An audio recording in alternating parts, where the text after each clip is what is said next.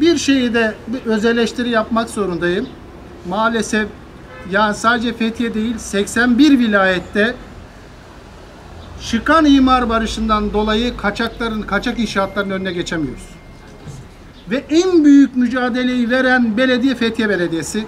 Yüzün üzerinde binayı ya yasal hale getirdik ya yıktık. Ama bu da çözüldü. Bu imar barışlarının çıkmaması gerekiyor.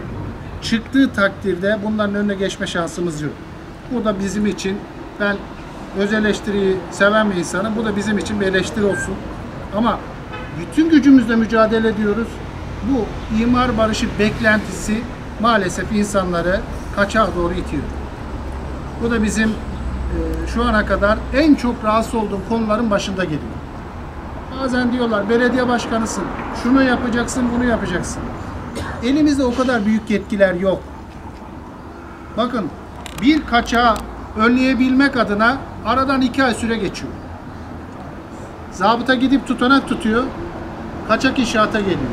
Ceza kesiliyor, encümene geliyor. Mecbur, yasal bu prosedürü yapmak zorundayız.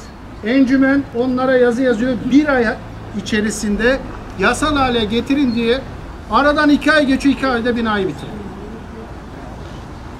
Yani bu süreçten geçiyoruz. Kuru betonda direkt bize müdahale et deseler inan ki bu kaçaklar bu kadar olmayacak. İkincisi deprem bölgesinde bazı belediye başkanlarımız suçlanıyor. Bakın arkadaşlar biz bina projeye uygun mu değil mi onu denetleriz. Yapının devreme dayanıklı olup olmadığı, beton ve o demirin yeterli derece kullanılıp kullanmadığını biz değil, özel yapı denetim firmaları denetliyor. Bu bizde değil. Yapı denetim firmaları bunları denetliyor. Devletin burada yaptırım gücü olması lazım.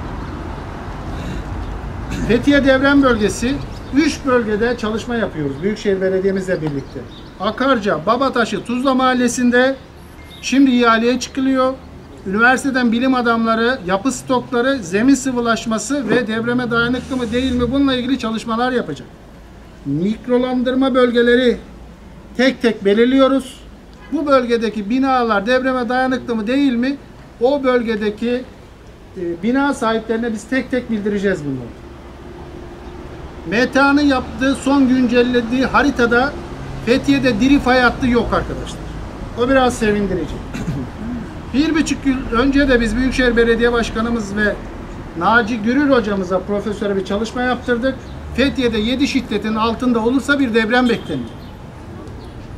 Burada yatay mimari iki katlı, üç katlı binalar olduğu için ve 2000 yılından sonra yapılan binalar deprem yönetmeliğine yap- göre yapıldığı için bir problem yaşanacağını sanmıyorum. Ama 2000 yıl öncesinde yapılan binalarda problemler yaşanabilir. Bunlarla ilgili de mutlaka kentsel dönüşümle ilgili çalışmaları başlatmamız lazım. Özellikle ben kooperatiflerden çok rahatsızım. Kooperatif binaları 40-50 yıl önceleri yapıldı. Deprem mevzuatına göre yapılmadığı için buralarla ilgili çalışmalar yapıp site başkanlarımızdan, yöneticiden rica edeceğiz. Orada kooperatiflerde yaşayan bütün vatandaşlarımıza bir araya geleceğiz. Orada bir risk varsa onları biz uyarmak zorundayız. Bunlarla ilgili belediye olarak çalışmalar yapıyoruz. Vatandaş diyor ki işte belediyeler ne yapıyor, belediye ne yapıyor, biz bunları yapıyoruz arkadaşlar. Yapmak da zorundayız. Bana bazen iki buçuk yıl önce biz zemin iyileştirmeleriyle ilgili Fethiye Belediyesi olarak bir karar aldık. Bazı müteahhitler bana çok kızdı. Neden kızdı? Biraz maliyetli. Neden maliyetli? Bazen fora kazık çakmak zorundalar veya betonla beslemek zorunda. Bu bir maliyet müteahhitlere. Ama depremden sonra hepsi bana geldi. Ne kadar haklı olduğumuzu bizlere ifade ettiler.